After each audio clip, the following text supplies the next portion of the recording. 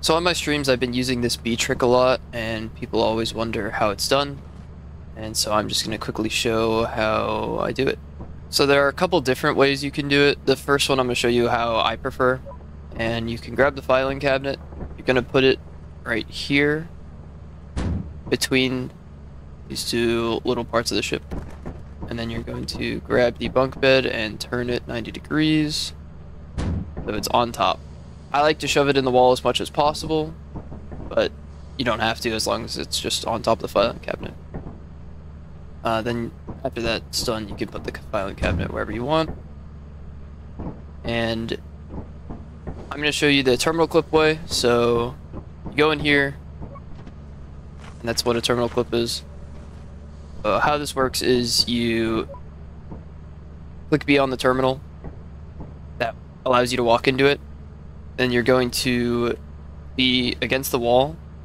You're going to hit E, which just cancels it, and you're going to walk forward. So here it is one more time. B, walk in, hit E, walk out. That's all that is. And so what you can do with that, go ahead and get your beehive. And you're just gonna look straight, drop that, flip out and then the bees will go on top of the ship. Once they're up there, you can go ahead and get your beehive. Just drop it at the back of the ship so that way you can't aggro the bees if you're jumping around here. The other way to do it, if you don't want to learn how to consistently terminal clip, because it can be a bit tricky, is you're going to place it on here and then you're going to jump off the back. So you just need to make sure you have enough stamina to do that. So I'll show that method. We're going to go ahead and grab this beehive. Jump up here, drop, jump off the back.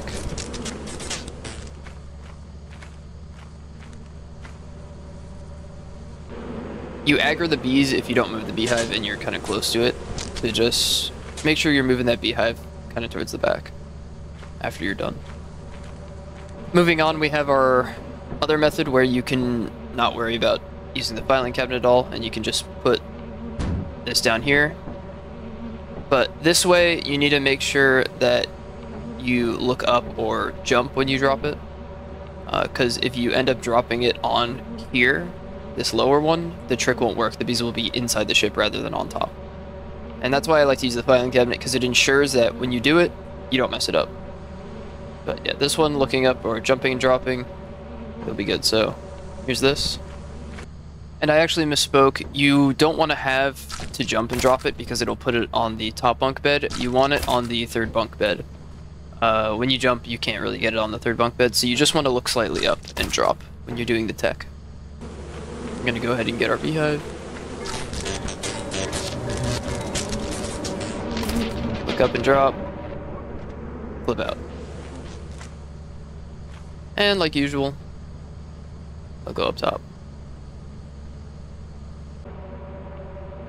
One important thing to be careful of, when you have the beehives back here, you can still aggro them if you get in line of sight of the bees and are at the back of the ship. So like right here should make them kind of angry.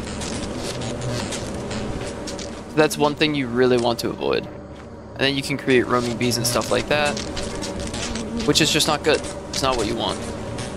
So make sure if you do put them back here that when you're outside the ship, you avoid this kind of part of the ship, this back corner for March. But this does work on any moon. You don't have to do this specifically for March. It's just the easiest because the jump for March gets kind of difficult because of how high up the ship is. But anyways, that's all I got for you today. Hope I taught you a little something, something random about Lethal Company, and see you in the next video. Peace.